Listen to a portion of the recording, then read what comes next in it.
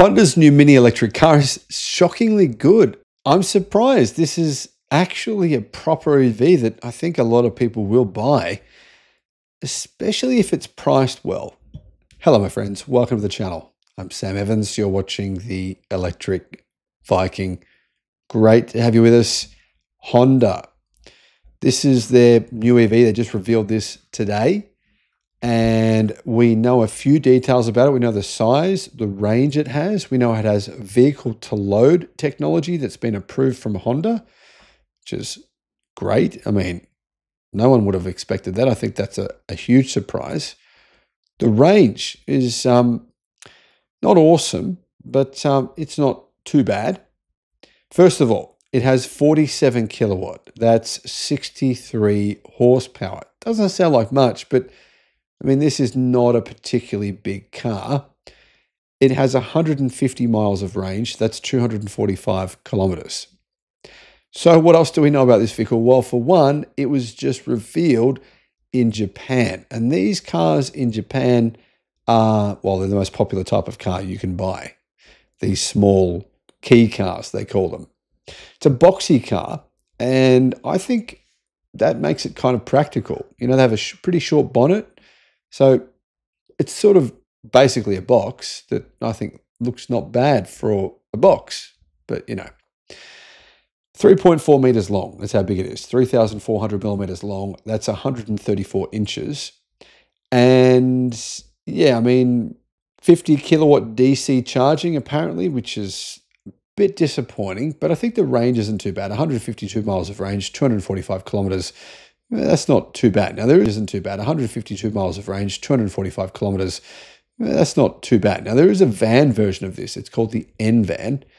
Uh, and that's actually not a bad car as well, I'd say. But interior wise, what do you what do you guys think about the interior? I think it looks very, very, very budget, surprisingly budget, but um, kind of weirdly retro cool. I don't know why. Weirdly, guys, I just did a video today on a new electric car, well, an updated version of an EV you can buy in China. It's literally one third of the estimated price of this car, one third.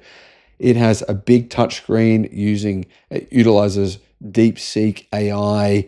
Uh, it has a similar range to this vehicle. So these Japanese microcars, they're, they're pretty cool, but Chinese ones are even better and they are much, much, much cheaper. So that's what it has to compete with.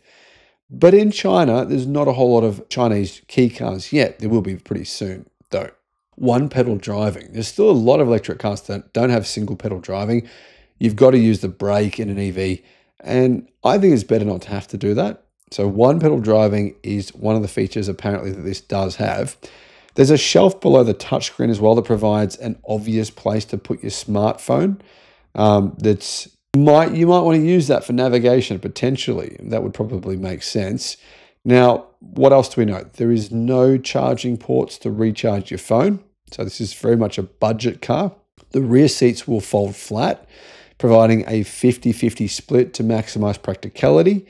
And there is vehicle to load that enables you to use the N-One to power your house. If there was a power outage, you could power your electric bike, a laptop, computer, uh, many different things. To use vehicle to load, owners need to purchase, though, an adapter from Honda's accessory catalog, which includes a dash top LED indicator to let you know how full the battery is.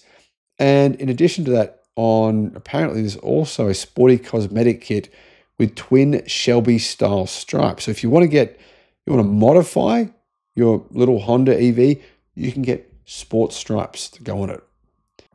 Is this vehicle coming to other countries? It's not coming to the United States, apparently, says Honda. Email them though. You never know. I mean, send them some emails, tell them you want it. But it is coming to Europe. So Europe's a big place. Uh, is it coming to China? No, it would get destroyed in China. There's too many other options that are much cheaper. Japan and Europe so far. Other markets, yeah, United States has been ruled out, but I'm not sure about potentially Australia. So as I mentioned before, it does have vehicle to load and it's got vehicle to home. I think that makes it a, a decent vehicle. it is ugly. Um, the version of this that we saw, the concept version, looked awesome.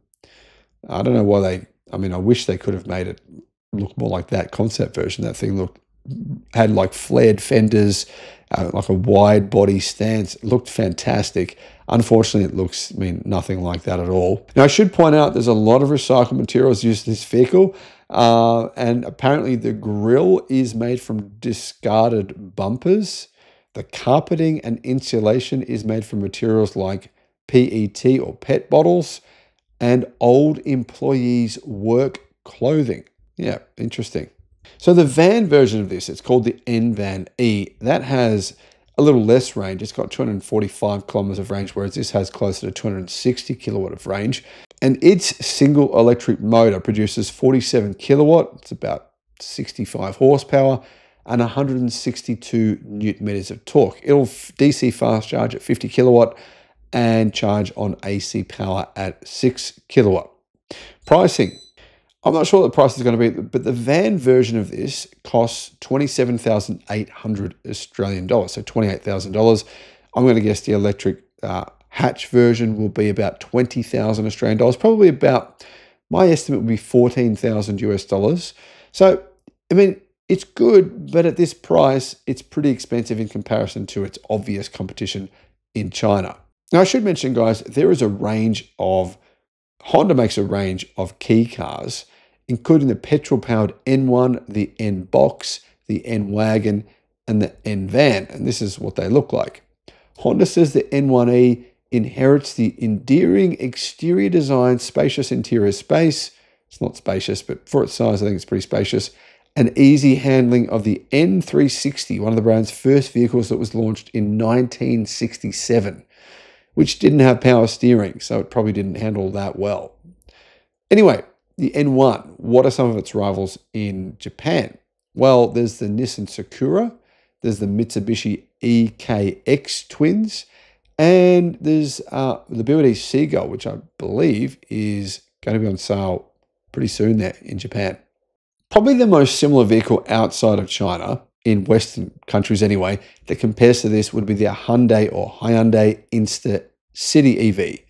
It is a bit bigger, not a lot bigger, but it is a bit bigger. It's 3,825 millimeters long.